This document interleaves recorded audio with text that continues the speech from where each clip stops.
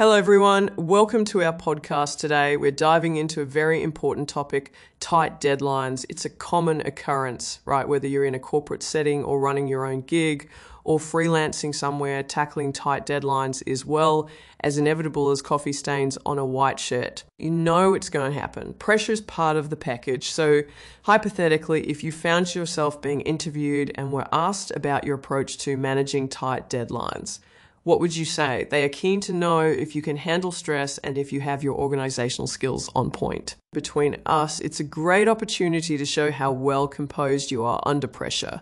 Also, this question allows them to assess your time management abilities like killing two birds with one stone, metaphorically, of course, how you respond to this question tells them whether you're cut out for roles that require working under pressure. Your approach to handling tight deadlines determines if you can address the job's demands without compromising quality or making silly mistakes.